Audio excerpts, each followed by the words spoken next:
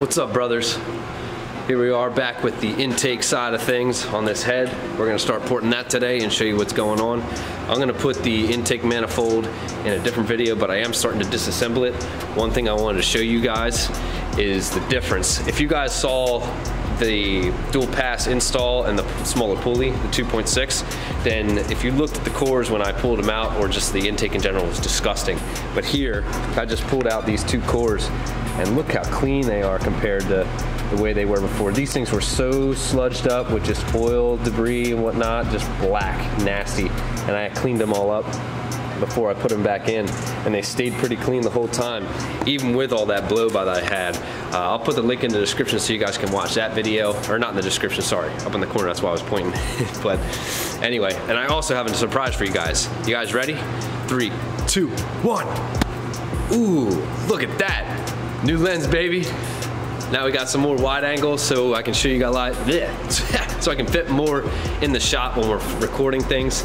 So hopefully this will help out and being able to show you guys a little bit more. I definitely like it so I don't have to hold the camera so far away sometimes and I can get everything in the shot. So that's a big plus for me and hopefully it'll work out for you guys too. Let me know what you guys think about the new lens. See if you guys like this one better or maybe the other one.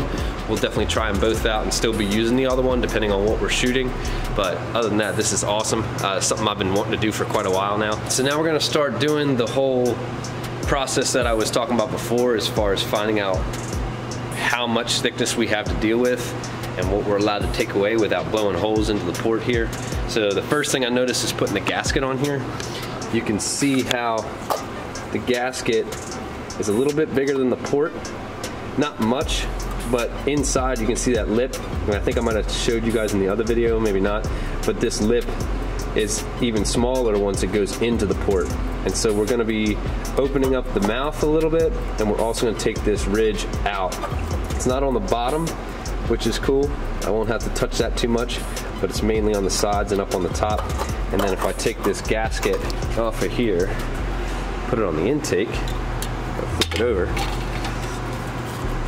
you can see how much bigger it is than the intake manifold as well. So definitely to be porting the intake as well, just to port match everything. Um, the most essential part of this whole thing is making sure that I get this gasket in the right or in the same spot so that when I'm porting it, I'm not opening it to one side on the head and not on a different side on the manifold because then the ports won't match and the flow won't be right and will really mess it up. So I just have to make sure that the gasket stays in the proper location when I'm mapping out what I'm cutting and all. So I'll show you that and get into, so at first glance, just seeing what I'm looking at here as far as the wall thickness that I have to deal with. Taking my gasket off right now. The bottom here, just by putting my finger underneath and on the top, it's not real thick. Um, I could get a mic on this and feel it, but I'm not gonna be working too much on the on the bottom anyway. On the sides as well, it's a very skinny wall, so there's not a ton that I can mess with there. Let me get this darker a little bit for you guys. But uh, the top has a ton of space just because you can see where the injector comes in and I can feel in there with my fingers. Once it gets more towards the opening of where the injector actually comes into the port, it gets pretty skinny, but I have some to work with here. Um, and then if the same thing with the water jackets, they do go in and around the port. If you watch the other one with the exhaust manifold, let me see if I can get in here. You can, it's not a lot of space, it's not very thick. The water jacket does, yeah, and you can see the port there. You can see how it's right in there. It pretty much mimics what's going on up here so I can kind of follow that same line. But like I said, more I'm just trying to smooth it out and get it to open up a little bit and just make these ports match because that alone will increase the flow a lot. And as far as the, the pocket goes too, have the same thing. Um, it I can't view it on a video. I can't really show you inside this hole right here. But if you do visualize, or if you do look through here on your own head, you can see the side of the port over here and how close it is. So I really don't have a lot of room here as well. This Has a little bit of a ridge on the short turn like it did on the exhaust, but not nearly as bad. But I definitely want to get that smoothed out so it doesn't hit this ramp here, that speed bump like I was talking about. So we gotta work on that some. The one tool I was using, I was getting a little more confident knowing that I had to take more off than I thought. I started using this carbide bit and it has these big grooves in it. It's made for aluminum because if you use the ones with the small grooves, a lot of times the aluminum will get caught up in it and then it won't do any cutting, it'll overheat it and whatnot.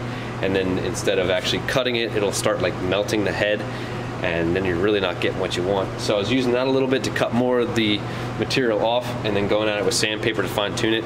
But what I was doing with the exhaust gasket here was putting in studs on the bottom and I was putting more in and then what I was doing is pushing all the way to the top and then just port matching the sides and the top because I didn't want to touch the bottom because I didn't want to kill too much of the flow down low because I don't want it to be totally undrivable around the street and it definitely made a lot more quicker work on the rest of them and I still want to do a little bit more on these dividers because I still have more room and I definitely want to make them thinner but I'm gonna get to that later on. I'm just gonna dress those up later.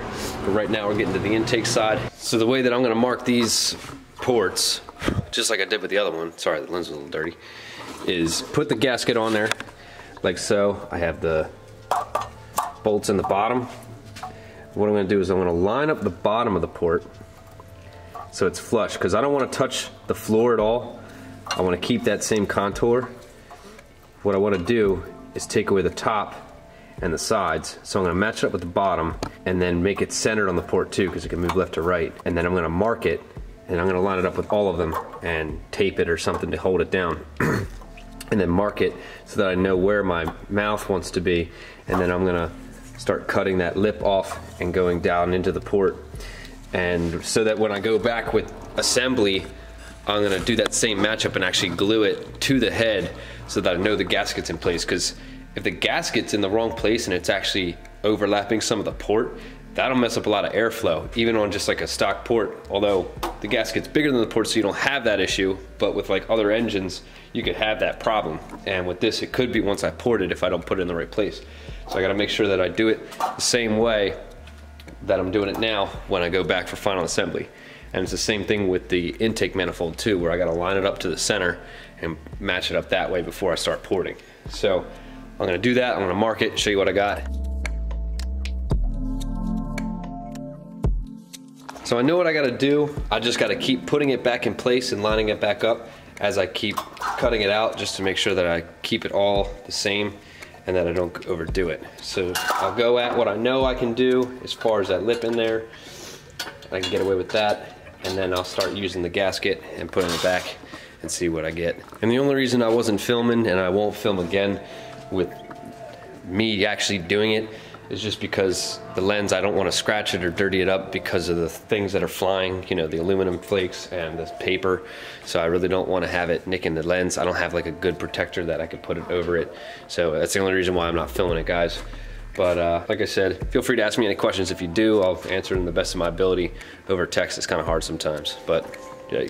So I took a fine tip Sharpie around the port just to give myself an idea so I can take quite a bit out and you know, you can see the, well, let me get the light on it, hold on. So you can see that lip in there is quite a bit away from that line. So I have plenty of room. So what I'm gonna do is I'm gonna use the carbide tip here first to get most of the meat off and then I'll fine tune it with the sandpaper later so that I can sneak up on it and not go too far and ruin the thing and get my lighting right at the same time. Yeah. I got the first one done or close. Like I said, I want to sneak up on it, so let me change the lighting so you can see the damn thing. I have that ridge pretty much completely out of it, or it is completely out, but now I'm still creeping up on the overall diameter that I want, which can't really see the lines at this point, which is okay, but now I'm gonna keep, now I'm gonna go down the line and do every port.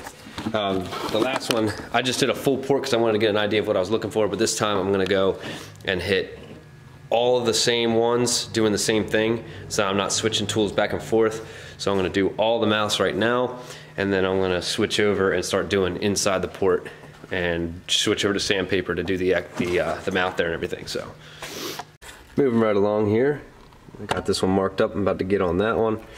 Got the first two done, the mouth. Uh, one thing I know I did not explain with the exhaust one, that hopefully if you guys are watching both, you'll get all the information from it because, oh my God, I'm just trying to fix my strap here. Oh, it's a mess.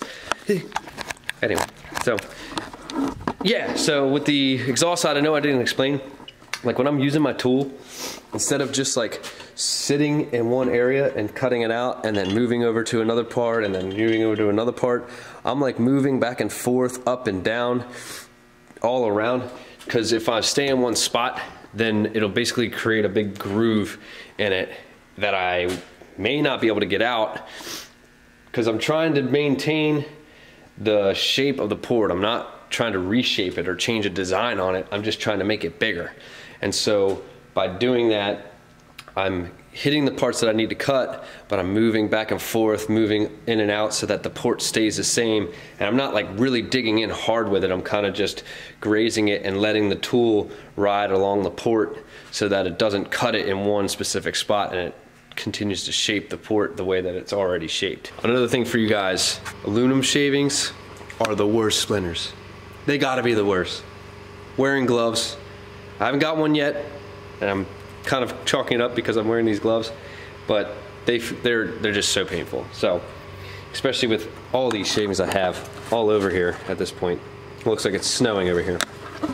It's really easy for me to possibly get one by accident, especially because I keep running my fingers down the ports just to make sure I'm getting the angles right and make sure that it's nice and smooth. And I'm wearing these gloves just so I don't get that. So, another tidbit. I feel like that's all I'm doing is just grinding and then be like, yo, guess what? I remember this part. but anyway, since uh, we're over here, what I'm doing now pretty much is I've gotten them as wide as I want, but now that the outside, the like the outermost part here on the mouth is where I want it. Now just in by like, you know, quarter to a half inch, it kind of bumps out a little bit, kind of like the original ridge that was on there, even though I got rid of it. You can still feel a little bit. So now I'm straightening it out so it so from the mouth to the innermost part, which is way down here, it's a smooth slope. It doesn't go in and then back out. So that's what I'm working on now. So I'm gonna call it here, guys. Uh, what I got done was all the ports as far as the mouth goes. Whoa, just lost some camera angle there, jeez. And so but what I've done is just what I was talking about, how with open the mouth to where I wanted it, but then it was kind of restricting a little bit in here. So I went on the top and the sides and really opened it up so that it was a smooth transition from the way I had opened up at the front and the rest of the port.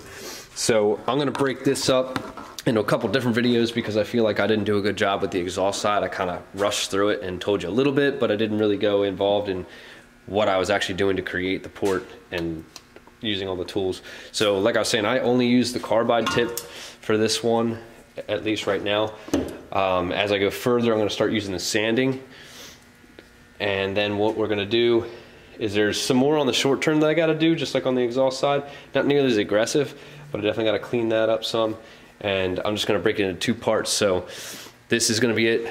It's a little late tonight, so I'm gonna get out of here for right now. But guys, any questions or any comments that you wanna see on the next one, let me know before I get to it. I'll have this out before I get to the rest of this, so let me know. See you on the next one.